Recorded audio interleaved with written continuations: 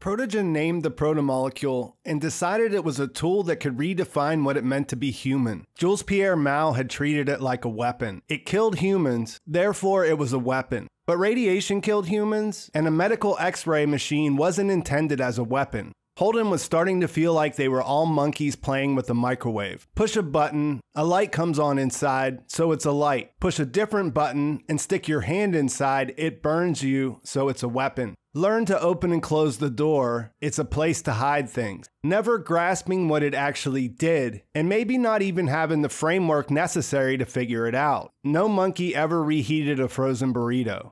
Hey guys, Pete here. In the world of the expanse, the protomolecule is the thing that changed everything. Holden's thoughts from Abaddon's Gate there do a pretty good job of summarizing what I talked about in the first video of the series. Humanity is the monkeys, poking the shiny box, making guesses about what it does. While everyone was fighting to control it, the protomolecule was busy working. And in this video, we're going to look at what it built. I'm going to explain what we know about the ring gate, about the ring network it's connected to, the station at the middle of the hub, and what we learned about its builders as we explore this area. As a warning, this will contain spoilers through season 4. I'll also be referring to the source material without giving future book spoilers away. The details are slightly different between the books and the TV shows. To save time, I won't be pointing out those differences. I'm going to tend towards what comes from the books, but overall, we end up in the same place no matter how you get there. With all that out of the way, let's get into it. So, as the monkeys were poking things with sticks, the protomolecule was busy building. It hijacked Eros Station, hurled itself towards Earth, got rerouted to Venus where it crashed on the surface, the work continued there until one day it emerged as a giant mechanical squid looking thing that flew itself out past Uranus and assembled this giant gate. We refer to this gate as Sol Gate since it connects our system to the ring network. The ring itself is about a thousand kilometers across. We're not exactly sure what it's made of, but the protomolecule's influence in its construction seems to make it pretty durable, considering that some of this stuff has lasted for billions of years.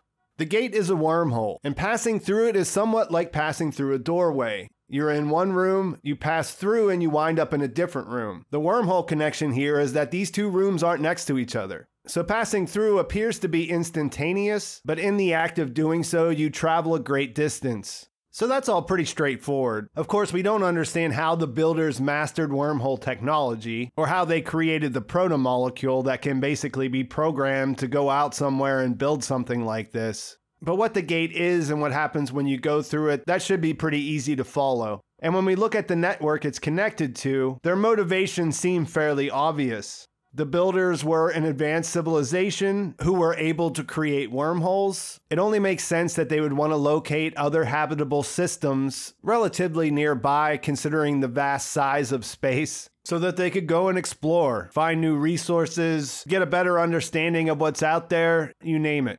In my first protomolecule video, I explained the delivery system of how they created these different gates that eventually formed the gate network. A question I see come up a lot is what does it look like from the other side? I would assume that it looks exactly the same, and I'm guessing that that means you could enter it from either direction. That said, we never get a description of this or an answer to that question. But remember, when you pass through it, you end up somewhere else. You end up inside this hub where all the ring gates are connected. I've seen this referred to as a non space, but as mentioned, it's really a mystery still at this point. Where the hub is located, where it resides, or where it physically exists is also a mystery. There's no stars inside this space, and there's nothing that you could see on the outside that you could use to locate where you are. We call this the slow zone because of what happened there. It measures roughly 1 million kilometers across, surrounded by the 1300 plus gates, which are all wormholes that lead to different systems.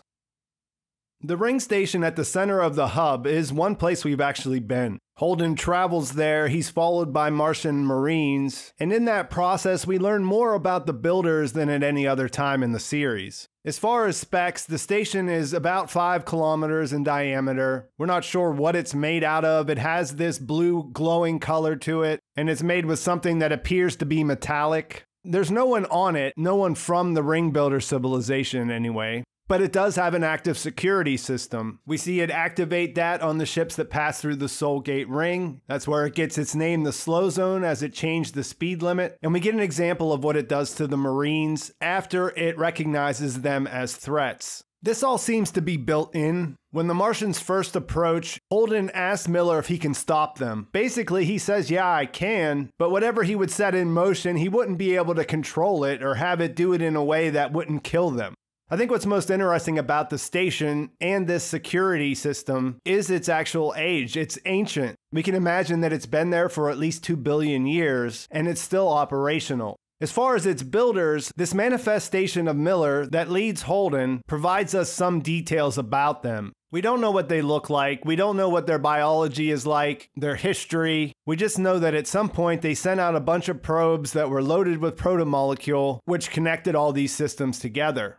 What we learn from Proto Miller is more about their extinction. And we know by his connection through the protomolecule and the fact that he's investigating, he's able to find records here, he's able to use Holden to get access to the system, that they have constructed some sort of hive mind. And at this point in the story, they do seem to collect things, collect the consciousnesses of the life forms that they hijack. Julie Mao is the greatest example of this. On Eros, the living Miller was able to find her imprinted consciousness and interact with it. It's also clear by this ring network that's left behind and its ability to create this consciousness that resembles Miller to interact with Holden that it's created things designed to survive even after the civilization is gone. After the ring network was developed, the builders were wiped out. They were made extinct by unknown aggressors, some other civilization that we know nothing about. What we do learn from Miller at the ring station is that they used it as a weapon to destroy some of the systems that it was connected to. It did this by sending a beam of energy through the ring that caused the stars to explode and essentially vaporize everything in its system. They tried this repeatedly without any success, and so they eventually tried to quarantine they tried to deactivate the rings. That's why, when they're first discovered in our story, the system isn't turned on. The quarantine didn't work either, though, and we don't know if it's because they shut down the rings or if the unknown aggressors did something beyond what we've seen. But at some point, the alien civilization, the Ringgate builders, went extinct.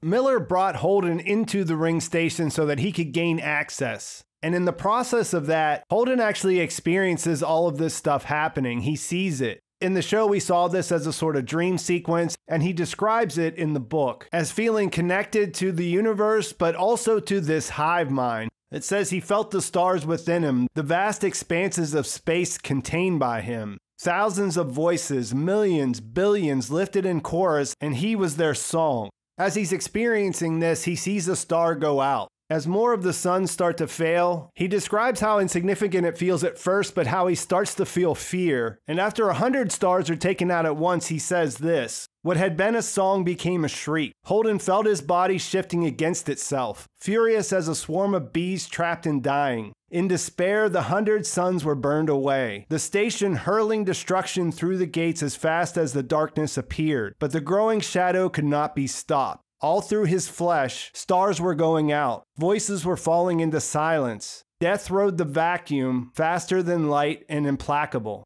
He continues, he felt the decision like a seed crystal giving form to the chaos around it. Solid, hard, resolute, desperation, mourning, and a million farewells, one to the other. The word quarantine came to him, and with the logic of dreams, it carried an unsupportable weight of horror. But within it, like the last voice in Pandora's box, the promise of reunion. One day, when the solution was found, everything that had been lost would be regained the gates reopened, the vast mind restored.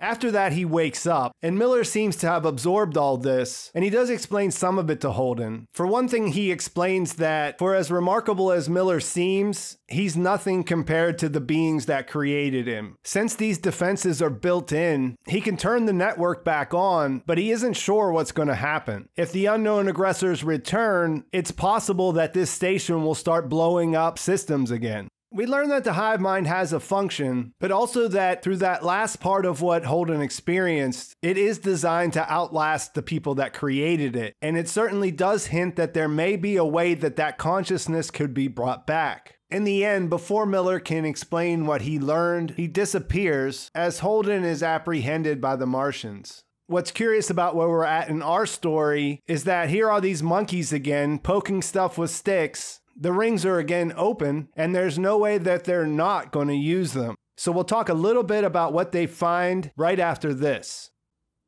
I need to tell you about the sponsor of today's video, Skillshare. Skillshare is an online learning community with thousands of inspiring classes for creative and curious people explore new skills, develop existing interests, and get lost in creativity. I've been taking the course Mastering Cinematic Compositions in Video and Film by Jordy Vandeput. It's well put together and it's taught me a lot about setting up shots. If you're uncertain about what's next, creative challenges and productivity classes can be a great way to help you structure your time and set up achievable goals. At a time when so many important conversations are happening in our world, your voice is more essential than ever. Explore classes to unlock your creativity for social good. Skillshare offers membership with meaning. Connect with the support of fellow creatives and enter a community of encouragement, communication, and inspiration. Whether you're looking to fend off boredom, focus on self care through creativity, or join a similarly creative community, Skillshare is the place to keep you learning. The first 1,000 people to use the link in my description will get a free trial of Skillshare Premium membership. And after that, it's only around $10 a month. So check it out. I think you'll like it.